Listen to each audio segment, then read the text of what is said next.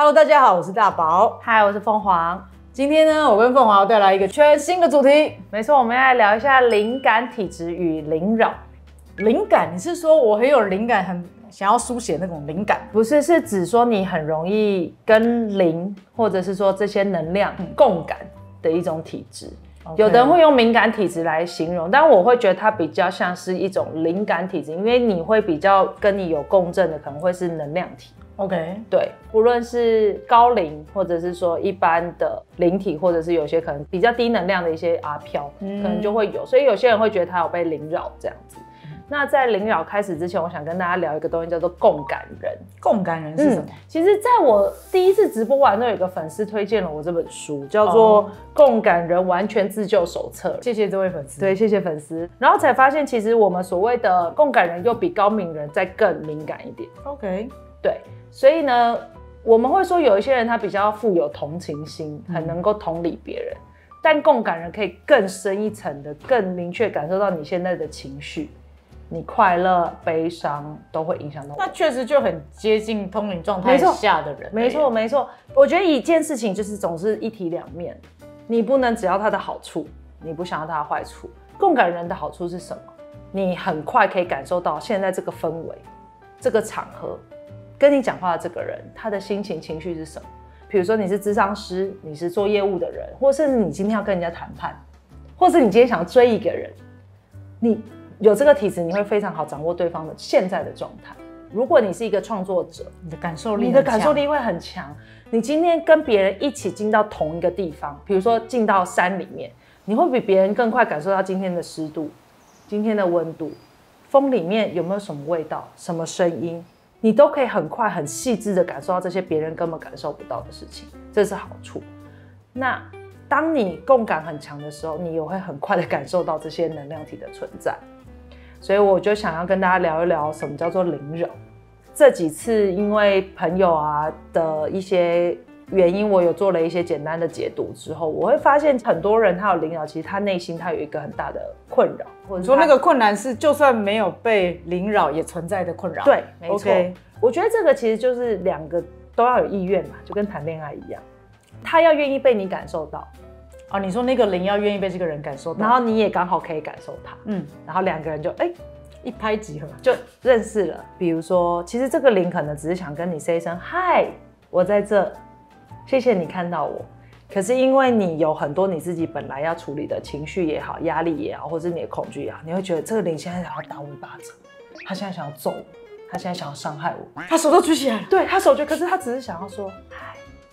比较像是这样，嗯，所以其实回到灵扰这件事情，我会觉得对能量体它的确存在，你也可能一定是某种程度上共感很强的人，或者是你跟他有共同的议题。可是这件事情最终还是其实只有你自己可以解决这个困扰。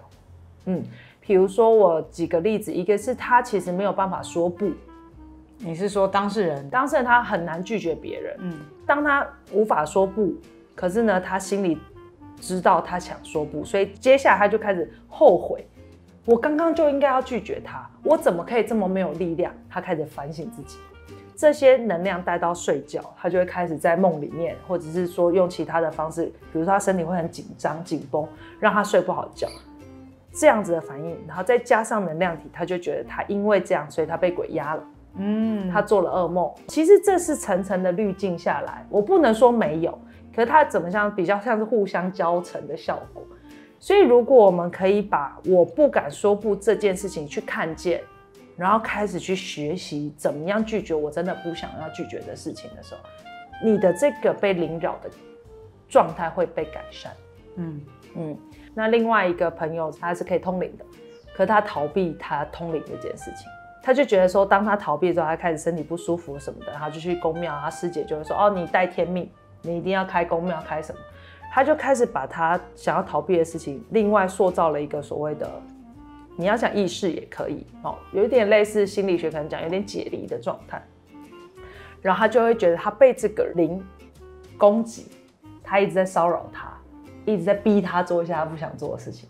可是其实没有，那是他创造出来的一个意识，一个人格，一个人格。嗯，所以其实灵扰它有很多很多的因素，但是。嗯，必须说一定存在，因为就是路人。那我们要去思考是说，不是觉得很奇怪吗？我怎么会让一个路人来指挥我，来影响我的生活？睡觉的时候把我叫起来，叫我起来尿尿，不可能，对吧？你不会让一个路人这样做，可是你让一个能量体这么做，并不是说能量体特别厉害，是因为你有你的允许，你没有保护好自己的空间、自己的方寸。那像你刚才说，就是例如说你有恐惧，所以你会吸引到有类似恐惧的灵体。然后有委屈，你会吸引到就是跟你一样有委屈的。那你自己的经验是什么？你有就是因为吸引到什么样的灵体，使你看见内在的东西，后来你有去释放之类的吗？我其实去年十月的时候，就是从新加坡出差回来之后，然后就有一些灵异的经验。然后我从那个故事，从我自己里面开始去学习到，第一个怎么样让自己比较安住，然后怎么样去。检视自己为什么会被凌扰，嗯哦，因为其实我也是一个很容易愧疚的人。那次出差的时候，你吸引到一个也带有愧疚的灵体，这样子。对，我所谓的愧疚会到什么样的程度呢？好，举例好了，呃，大宝要去上一个通告，然后我因为安排了什么事情没有办法跟你去，我就会觉得我不应该，嗯，可这是没有必要的，因为你根本就不困扰。嗯，只有我自己觉得很困扰，因为我已经说了，你有事你就去忙，对，我已经讲了，对对对对对，我一直把自己往那愧疚里面埋，某种程度上其实对自己的身体造成很大的损害，我自己不知道。然后你就开始回头检视自己的愧疚到底有多可笑，嗯，就是你到底在愧疚什么？你在对谁愧疚？为什么要愧疚？嗯，所以其实更多是回到自己。然后当我把这个愧疚消化完，然后去看到之后，我就会变得很常在关照自己是否又开始愧疚。那所以，如果你在我的立场的话，你觉得有人没有去陪你做什么事，或者是有人做对你做什么事，你会觉得他对不起你吗？不会，因为除了愧疚感以外，我觉得为什么会产生这样愧疚感？我们再更深一层来看，是因为不配得感。你不配得感，对？怎么？我觉得别人可以对我不好，可是我不可以对别人不好。哎，很可怕。自己都笑过，真的，真的。当我这样子一层一层往下挖之后，才觉得自己好好笑。我觉得愧疚，我现在处理完，那不配的感，我目前还在还在处理清理。我们大家一起努力，对对对，我们继续努力。对，所以当我把这个愧疚感呃整理好了之后，我就没有再吸引到愧疚的灵体了。而且还有一点很重要，我觉得你必须承认自己是灵感体质的人，接受这件事，接受这件事，你必须要接受。你不接受，你就是会有这个抗拒，抗拒其实是对身体很大的一个负荷。如果你自己很健康，很明确的去理解自己是什么状态，然后你接受这个状态的时候，其实就不可怕。嗯，我觉得很多的人会被凌扰的很严重，是因为他否定自己很多事情。OK，嗯，当你否定自己很多事情的时候，你就没有办法看清。其实这本书还有一个我觉得很棒的观念，就是你去分清楚这个情绪是对方的还是我的。嗯，因为我们很容易被对方的情绪影响。嗯，比如说我今你今天心情很不好，嗯，我跟你见完面之后，我突然心情也很不好。可是我不知道为什么，然后当你有理解自己是共感人，很容易被影响之后，你才知道说啊，那个情绪是大宝的，不是我的。我今天还是很快乐，嗯，所以你可以把这件事情分离出来，对能量也是一样的概念。你当你知道你自己是在什么样的状态的时候，突然有一个附加外加上，你会立刻知道那是外来的，嗯。然后当你知道外来的时候，你就是接下来就是选择了嘛，你要不要让他进来你家跟你聊天，还是你要跟他说，哎，我们下次见哦，拜拜，或是永远不要见，拜拜。你就可以做出这个，可是前提是你要能够知道自己是什么状态，你才能够判别什么是外来的，什么是自己的。那所以呢，我就想要教大家简单的几个方式哦，保护自己。如果你现在被凌扰困扰，我我会建议大家可以先去思考自己究竟有没有什么样真正的恐惧，你在逃避的事情，或者是你内心有什么你不愿意面对的事情。嗯，先从这边的剖析开始。那如果你是比较共感敏感的人呢？会建议你们，比如说，呃，我们到不熟悉的环境，啊，我们可以进去之前先开所谓的能量场。其实这本书里面呢，教了很多共感人怎么样自保的方法。怎么？比如说，我会想象我自己在头顶呢，从我的头顶开始扩散出一个白色的能量，一个防护罩，然后落到地板。然后，如果我今天要去的是大家普遍讲很容易卡到阴的地方，比如说丧礼。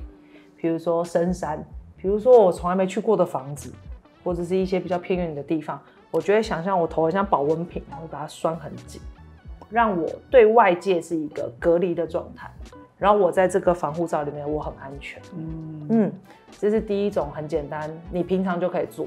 如果你是一个共感人的话，你很容易因为这种社交压力你会很疲惫的时候，它也可以有效隔绝就是所谓的社交伤害。然后呢，如果你今天比如说你会出差，你会去住饭店，我都建议大家可以随身期待一个蜡烛。那当你进到这个房间里面的时候，你可以先点着蜡烛，把房间每个地方走过一遍，然后类似宣誓主权，你可以用意念告诉这里，不管是能量体还是什么，就说哦，我会在这边住到几几号到几号，请把这个空间给我，这是现在我需要使用的空间。把它走完之后，然后可以在床头让这个烛光陪伴你入睡，嗯，因为烛光可以有效的护住一个人的能量，嗯。嗯，然后再来就是。好好的洗澡，或者是说你可以用海盐洗澡，就是搓澡的的动作，这都可以帮助你洗涤掉这些附加上来的东西，嗯。尤其是后颈这里，嗯，就是我的习惯就是我会用热水一直冲我的后颈，冲到我觉得舒服了，我放松了，我才开始洗澡，这些都是可以让这些嗯跟你接触的能量慢慢淡化的一个方法。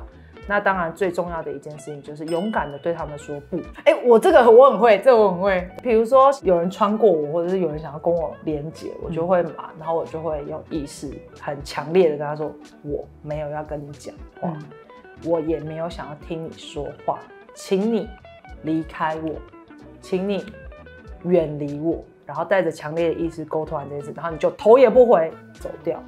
你不要依依不舍，或者是想说，还是他其实想跟我说什么哦？当你这么想的时候，他就会来。然后再来就是，当然就是大家常知道的，不要常谈论他们的事情啊，因为他们会想听，这是真的。